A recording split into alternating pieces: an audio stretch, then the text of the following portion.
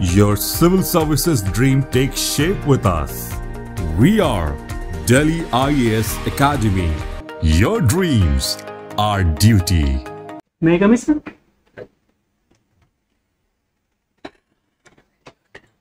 Good morning, sir. बैठिए रविशंकर जी रवि और शंकर दोनों हैं रविशंकर यादव जी यादव कैसे बना है यादव शब्द कैसे बना है सर इसको यदुवंशियों से जोड़कर देखा जाता है। हाँ, जोड़ा जाता है ठीक है तो बना कैसे है? माफ़ी चाहूँगा सर। तो वो कुछ उपसर्ग प्रत्यय कुछ लगाकर बताइए कि ऐसे बना होगा। गेस कर लीजिए। जी सर। यदु में क्या जोड़ेंगे तो यादव बनेगा। सर अ जोड़ना चाहिए। अ मतलब? सर प्रत्यय। उसका क्या मतलब होता है? अ का? माफ़ी चाहूँगा सर। चलिए कोई बात नहीं। आप जो है ऑलरेडी राज्य कर निरीक्षक है। जी सर। कर को प्राचीन काल में क्या कहा जाता था?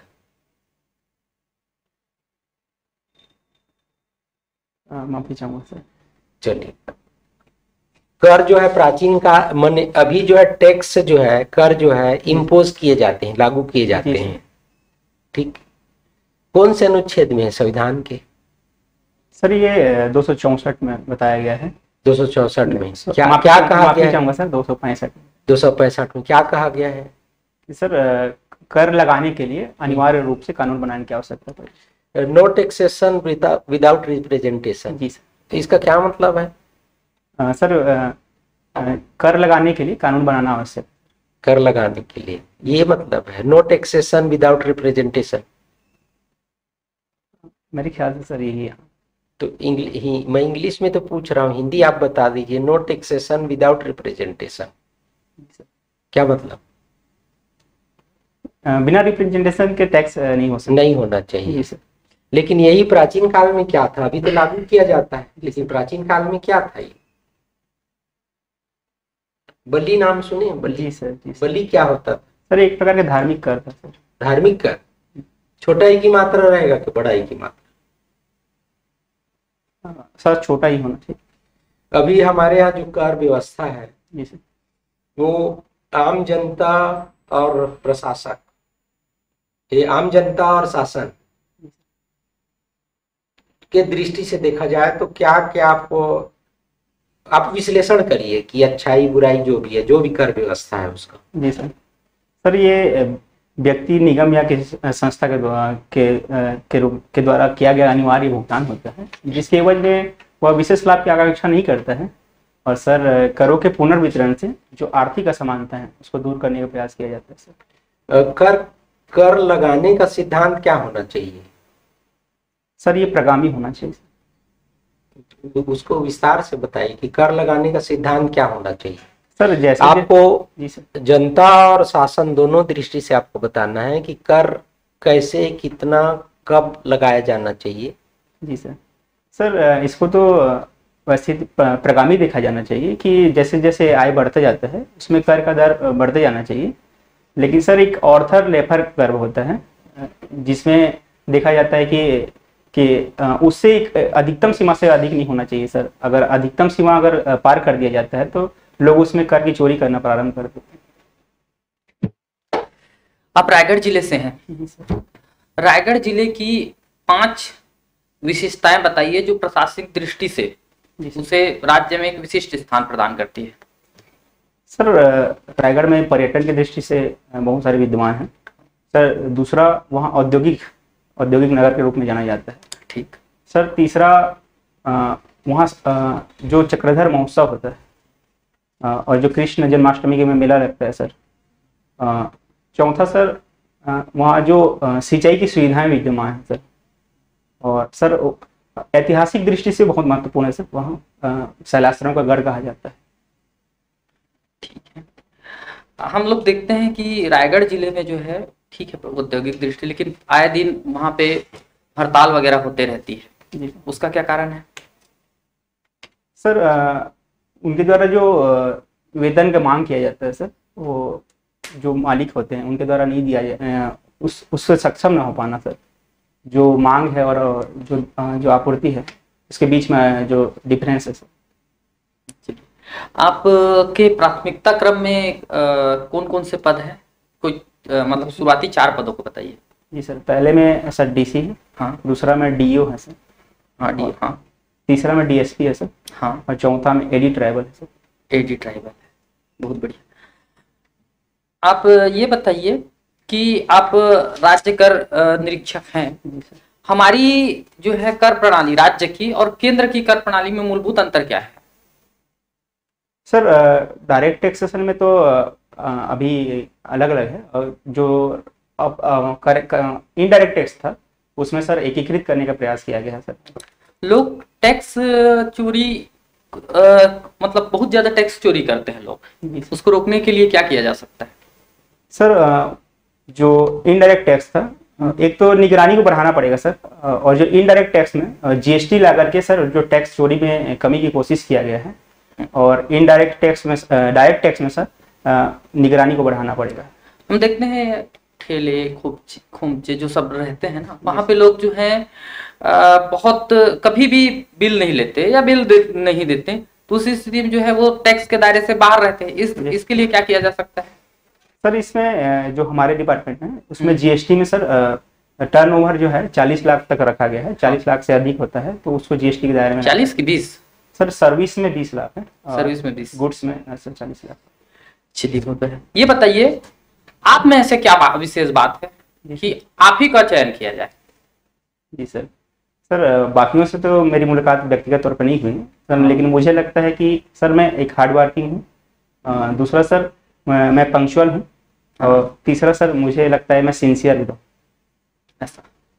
समय बद्ध हैं आप। जी सर। कभी ऐसी परिस्थिति हो जाती है आप कहीं के एसडीएम है जी सर। एक तरफ़ एक जगह कहीं दुर्घटना हो गई है या बाढ़ आ गई है आपदा की स्थिति है। है ना?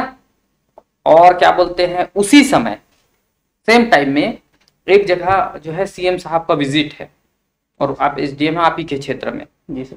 और एक जगह जो है अ, क्या बोलते हैं ऐसी स्थिति है कि अ, कोई भी जैसे फैक्ट्री वगैरह वहाँ क्या बोलते हैं आंदोलन भड़का हुआ है। जी सर।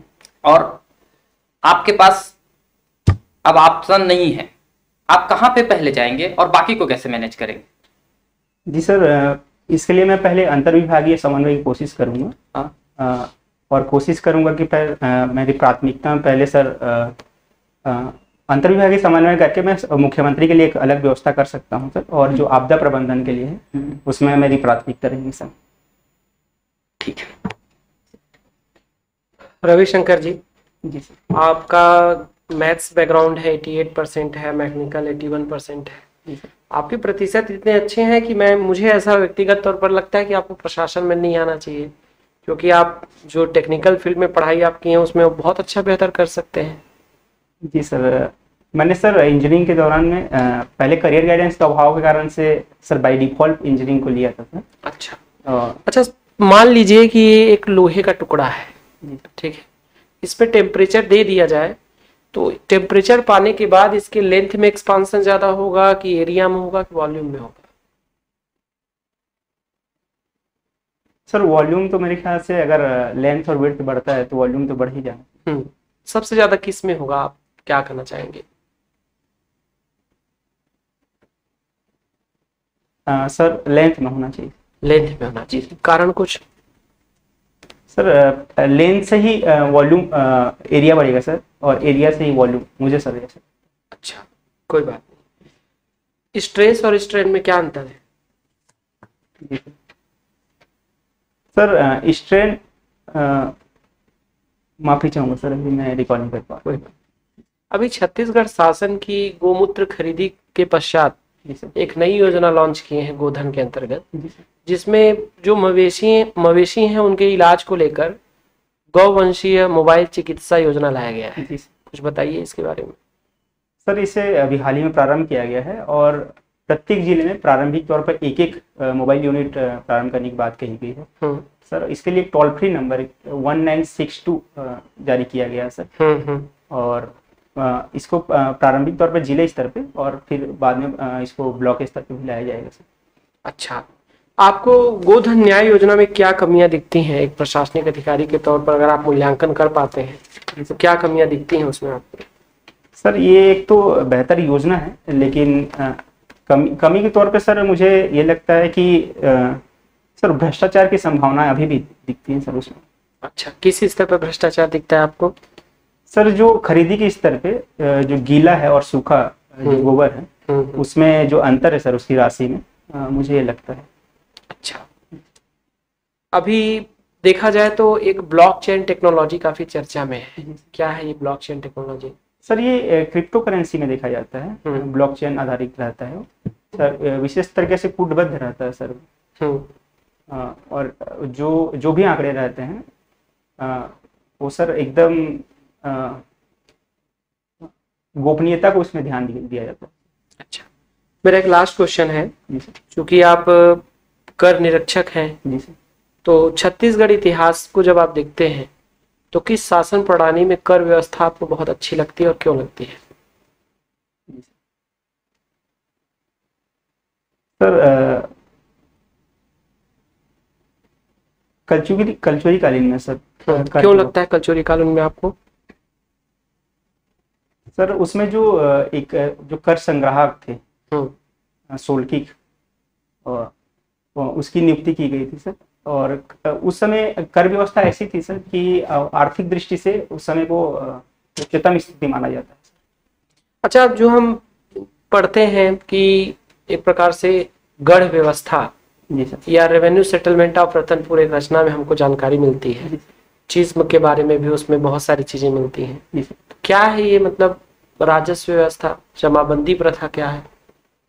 सर तब एक सामान्य बोलचाल में आप बताइए जमाबंदी प्रथा था क्या एक्चुअली सर राजस्व संकलन के लिए जो एक एक राज्य को बांटा गया था सर इकाई के रूप में सर उसमें अगर चौरासी गाँव होते थे तो उसको गढ़ कहा जाता था सर। अच्छा एक लास्ट क्वेश्चन है। अभी मुख्यमंत्री प्रधानमंत्री जी जो हैं उज्बेकिस्तान गए हुए हैं और कल पहुँचे हैं कल और आज दो दिन का उनका टूर है। तो आप जो है बेसिकली किस किस सम्मेलन भाग लेने गए हैं वो? सर एस है। एस एस में भारत की स्थिति संतोषजनक है आपकी दृष्टि में? सर ये 2017 के बाद से इसके परमानेंट मेंबर बने हैं। हम्म। और सर अब रिसेंटली में कोरोना के बाद से इसकी मीटिंग नहीं हो पा रही है। इसमें प्रधानमंत्री जी को क्या बातें अथवा क्या मांग रखनी चाहिए और किस पर ज़्यादा बाध्यता देनी चाहिए आपके हिसाब से इस सम्मेलन में? सर मुझे लगता है जो चीन के साथ जो सीमा विवाद उस पर विशेष तौर पर बात करना चाहिए सर। और जो अभी हाल ही में आज आज ही के न्यूज़पेपर में था सर कि जो रूस से क्रूड ऑयल का जो आयात है उसको बढ़ाने पे बात किया जाएगा। ठीक ठीक। छत्तीसगढ़ के बारे में आप बताइए कि छत्तीसगढ़ अभी जो विकास के जितने भी योजनाएँ हैं या जो भी योजनाएँ हैं जी सर। ये छत्तीसगढ़ जो है सही दिशा में जा रहा है। कुछ खामियाँ कुछ कमियाँ कुछ सुधार। जी सर। सर मुझे तो लगता है अभी सही डायरेक्शन में जा रहा है। अ, सर हाल ही में एक रिपोर्ट आई थी जो युवाओं के लिए बेरोजगारी दर पॉइंट फोर परसेंट है। और सर कि- किसानों के जो जो पंजीयन है किसान जो पंजीयन करा रहे हैं वो चौबीस लाख तक पहुँच गया सर। तो किसानों अ, किसान और जो सर तेंदुपत्ता संग्राहकों के द्वारा जो और लघु वनोपज का जो संग्रहण किया जा रहा है इससे जनजातीय अंचल में भी सर सही दिशा में कार्य हो रहा है मुझे लगता है। सर और मुझे ये इसमें कुछ सुधार में ये लगता है सर कि जो योजनाएँ हैं उसका अगर क्रियान्वयन और अच्छे से हो तो और अच्छा विकास हो सकता है। सरकार का ये काम होता है कि वो आंतरिक एवं बाह्य सुरक्षा करना कानून व्यवस्था बनाए रखना जी सर। विकास कार्य के लिए वातावरण तैयार करना। जी सर। लेकिन व्यापार करना तो सरकार कब तक कर पाई तो ये जो अभी हम खरीदारी कर रहे हैं तो खरीदारी कर रहे हैं तो आखिर इसको कब तक कर पाएँगे? किस सीमा तक कर पाएँगे?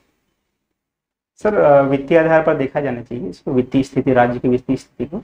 और सर जनता को जो लाभ पहुँचाया जा रहा है, उसमें कोशिश किया जाना चाहिए कि एक हद तक ही किया जाए।